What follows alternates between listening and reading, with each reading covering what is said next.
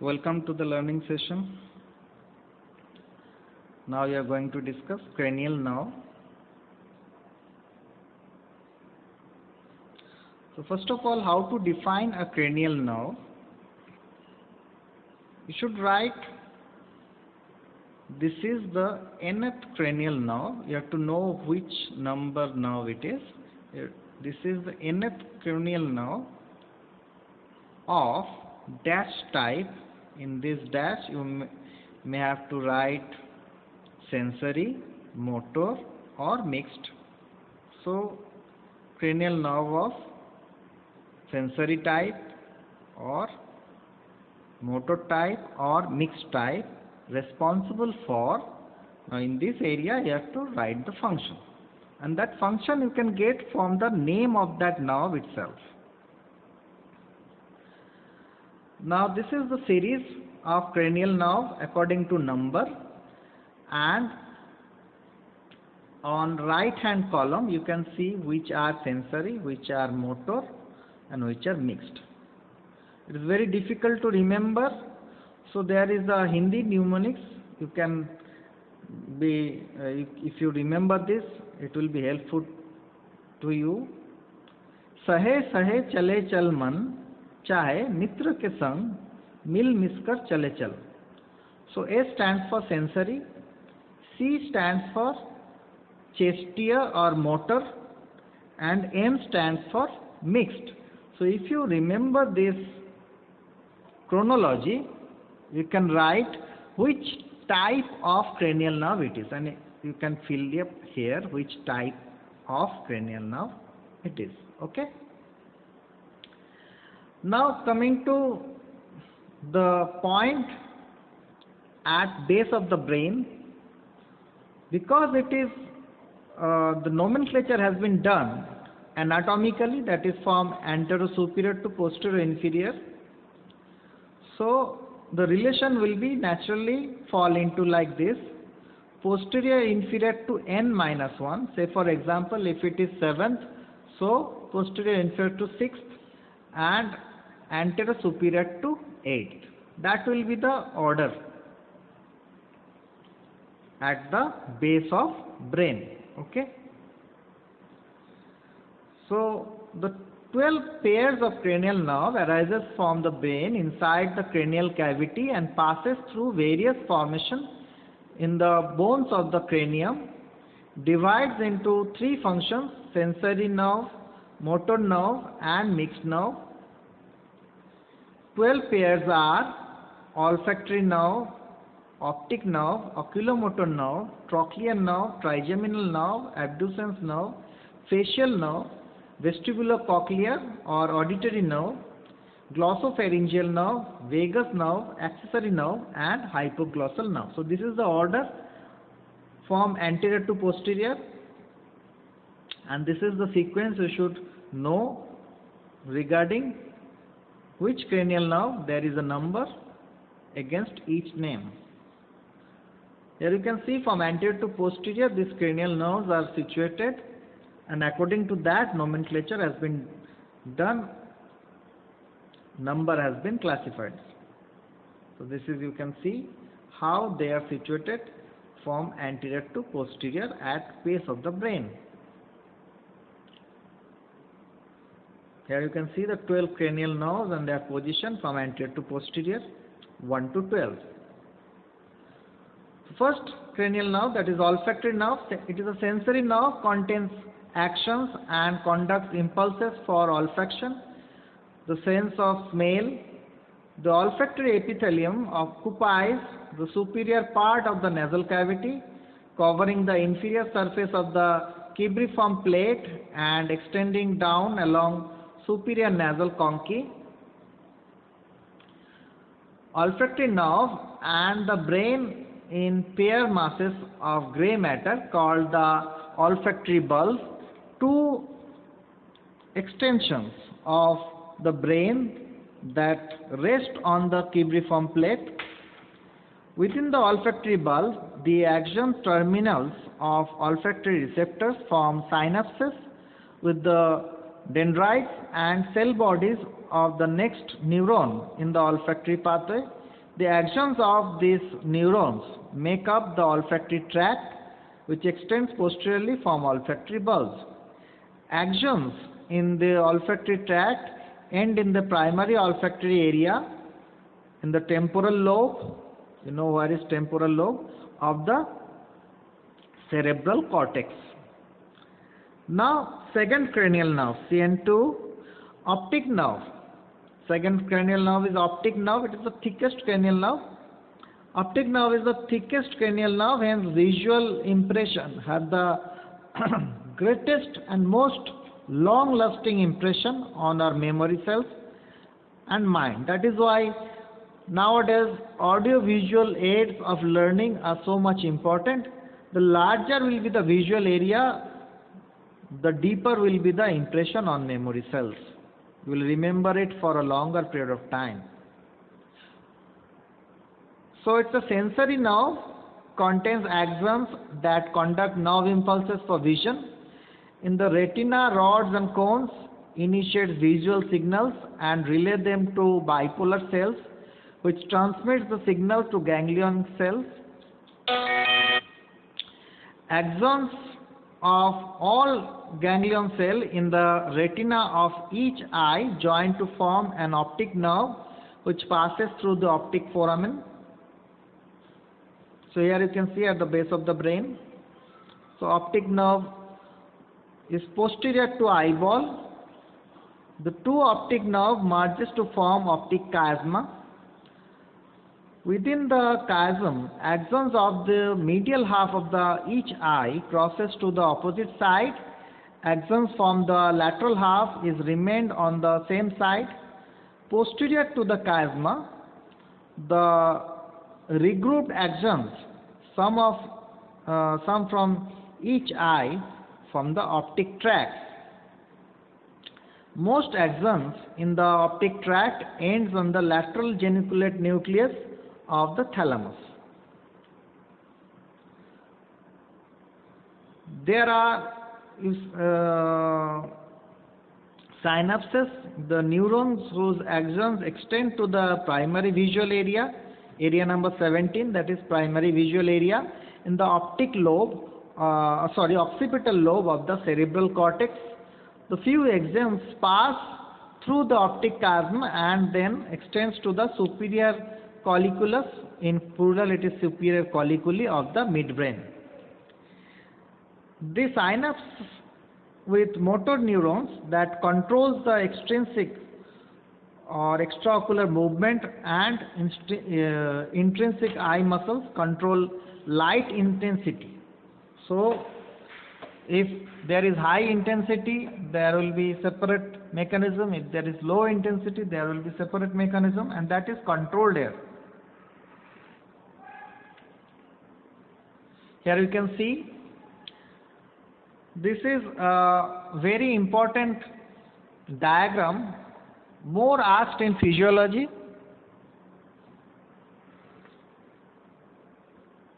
you can see pigment cell cone cell rod cell horizontal cell bipolar cell amacrine cells interplexiform cells ganglionic cells and nerve fibers so these are the 10 layers.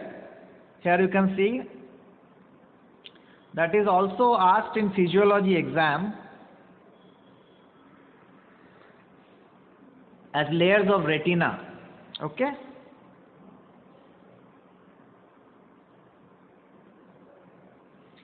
Now third cranial nerve. We know chrome alum, that is CR6AL3SO4. जो orange colour का सिंदूर use होता है that is chrome alum now instead of C R if you write LR you can remember three cranial nerve one is six cranial nerve one is third cranial nerve and one is fourth cranial nerve So now we are concerned about this third cranial nerve, so it has been highlighted. So mainly supplies eyelid and extraocular muscles. So all three, you read it as all, not AL not aluminium. You read it as all, all three. Okay. So this is LR6, all three SO4. So except LR and SO, that is lateral rectus and superior oblique, all other extraocular muscles, including uh, upper eyelid muscles, that is supplied by third cranial nerve. Oculomotor nerve extends anteriorly and divides into superior and inferior branches, both of which passes through superior orbital fissure into the orbit. Axons in the superior branch innervate the superior rectus, intrinsic eyeball muscle, levator palpebrae superioris. So this is addition to extraocular muscle, levator palpebrae superioris which is responsible to elevate the upper eyelid.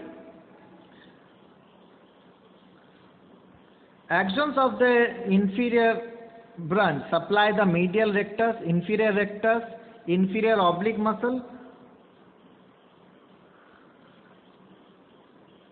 This somatic motor neuron control movements of the eyeball and upper eyelid. The inferior branches of the oculomotor nerve also provide parasympathetic nerve supply or intervention to intrinsic eyeball muscles which are smooth muscles. They include ciliary muscles. You know functions of ciliary muscle related to people. So ciliary muscles of the eyeball and circular muscles, the sphincter pupillae, जो pupil और iris इसके shape determine करता है parasympathetic impulses propagate from oculomotor nucleus in the midbrain to the ciliary ganglion and relay center of autonomic nervous system. From the ciliary ganglion, parasympathetic axons to the ciliary muscles which adjust the lens for near vision. Other parasympathetic axons stimulates the circular muscles of the iris to contract when bright light stimulates the eye, causing decrease in the size of the pupil. Now, oculomotor nerve, proprioceptive sensory axons from extrinsic eyeball muscles begins their course towards the brain in the oculomotor nerve but eventually leaves the nerve to join ophthalmic branch of the trigeminal nerve. They do not return to the brain in the oculomotor nerve. The cell bodies of the sensory axon resides in the trigeminal ganglion and they enter the midbrain via trigeminal nerve. These axons convey nerve impulses for proprioception, the non-visual perception of the movements and position of the body from extrinsic eyeball muscles. Now come to fourth cranial nerve. Remember that chromalum CR instead of CR just LR, LR6, AL3, SO4. Now you are concerned about SO4 that is fourth now superior of. So this is the smallest cranial nerve. It is a motor nerve smallest because it is responsible for supplying only superior oblique muscle arises from posterior part of the brainstem the motor neurons originates in the trochlear nucleus in the midbrain and axons from the nucleus pass through the superior orbital fissure of orbit. These somatic motor axons innervate the superior oblique muscles of the eyeball. Proprioceptive sensory axons from the superior oblique muscles begin their course towards the brain in the trochlear nerve but eventually leave the nerve to join ophthalmic branch of the trigeminal nerve. They do not return to the brain in the trochlear nerve. The cell body of sensory neuron resides in the trigeminal ganglion and they enter the midbrain via trigeminal nerve. Now this nerve like those of oculomotor nerve these axons convey nerve impulses to proprioception, the non-visual perception of movement of the position of the body from extrinsic eyeball muscle. Now coming to the largest cranial nerve that is fifth cranial nerve, trigeminal nerve. It is a mixed nerve, largest cranial nerve, two roots from ventrolateral of the pons have large sensory roots and small motor roots. Here you can see the diagram. Now, large sensory root has swelling part trigeminal ganglion. Trigeminal ganglion located in the fossa near surface of the petrous portion. The trigeminal ganglion contains the cell body of the most papillary sensory neuron. Here you can see in the diagram the area of uh, innervation of this trigeminal nerve. Now, it consists of three branches, ophthalmic, maxillary and mandibular. And according to the diagram, you can see the action of three uh, action area of these three branch. This is for ophthalmic, this is for maxillary and this is for mandibular. Here you can see also the area of action. Ophthalmic branch, smallest branch of trigeminal nerve, enter orbit through superior orbital fissure contains sensory axons from skin over upper eyelid, eyeball, lacrimal gland, upper part of nasal cavity, sides of the nose, forehead, anterior half of the scalp. The maxillary branch, intermediate in size, enter the foramen rotundum and sphenoid contain sensory axons from macular layer of the nose, palate, part of the pharynx, upper teeth, upper lips, lower eyelid. Mandibular branch. The largest branch of trigeminal nerve exists through foramen oval. This is you have to remember. Exists through foramen oval of sphenoid contains sensory axons from anterior two-third of the tongue then cheek, uh, cheek and mucosa deep into it, lower teeth, skin over the mandible and side of the head of the anterior, uh, anterior to the ear, mucosa of the floor of the mouth. The sensory axons from third branches enter the trigeminal ganglion and terminates in the nuclei in the pons. The trigeminal nerve also contains sensory fiber from proprioceptor located in the uh, in the muscles of the mastication. Somatic motor axons of trigeminal nerve are part of mandibular nerve and supply muscles of mastication. Masseter, temporalis, medial and lateral pterygoid, anterior belly of digastric, mylohyoid, tensor tympani. These are the muscles supplied. So important control in chewing movement is by trigeminal nerve. Here you can see the supply. Now coming to LR6, 6 cranial nerve. So lateral rectus is supplied LR that is lateral rectus is supplied by abducens nerve or 6 cranial nerve. It is the motor nerve origin abducens nucleus of the pons.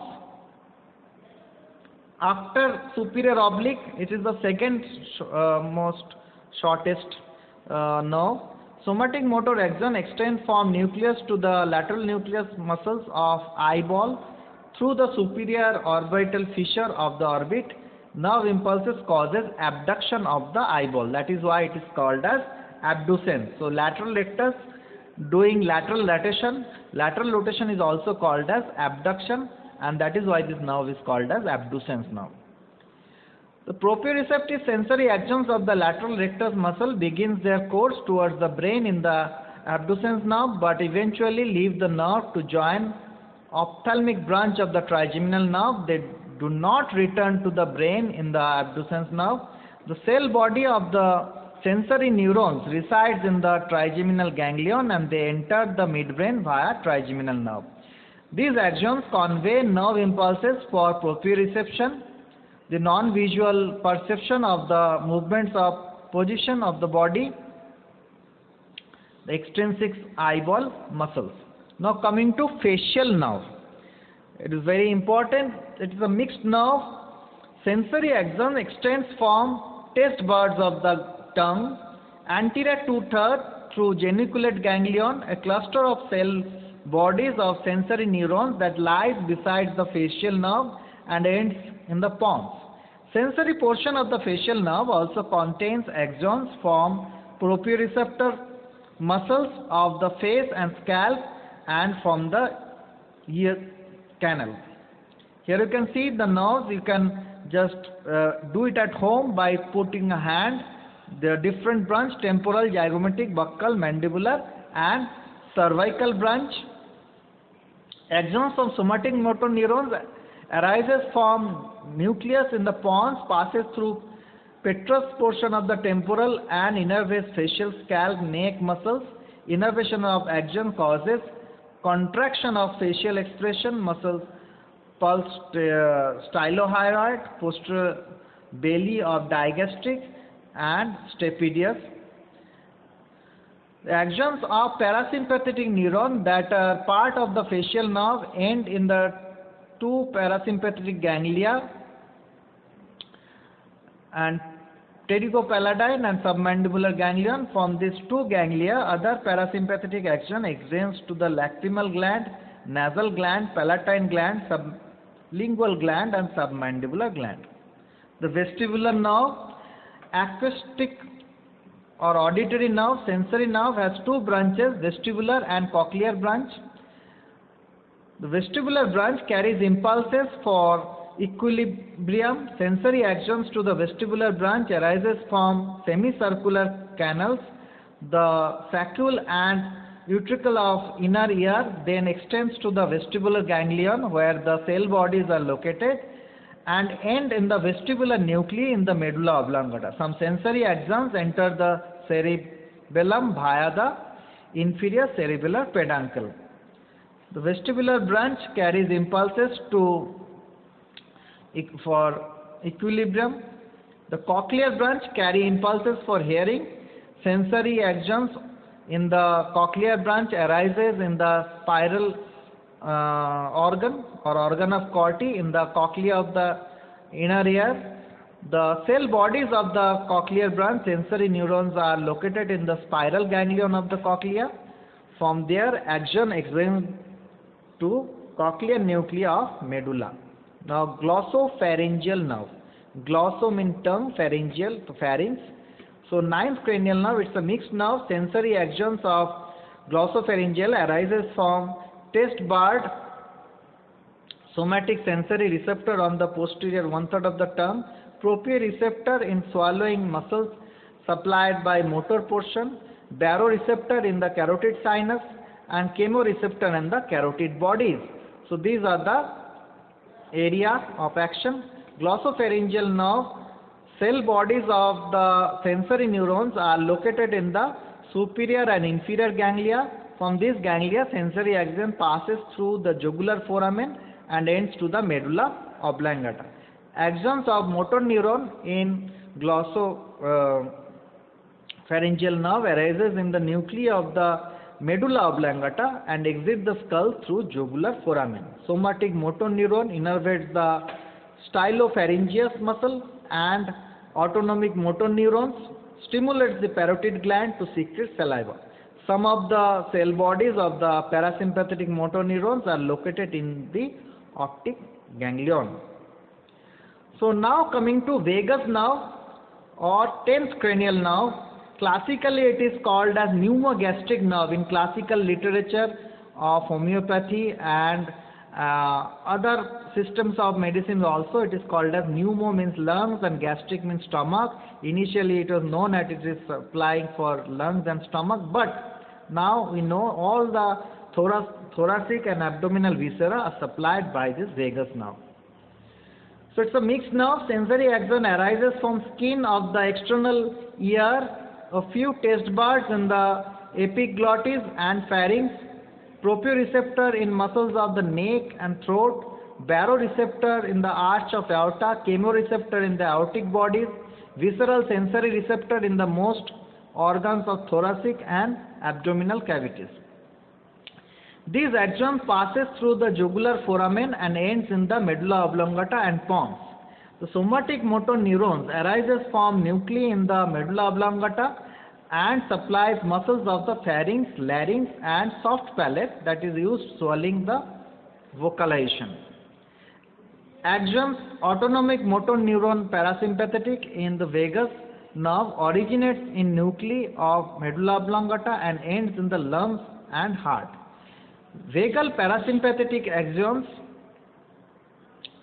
So this axon passes through the jugular foramen and ends in the medulla oblongata pons. Somatic motor neuron arises from neura and medulla oblongata. Here you can see the all the parts you can schematically draw like this.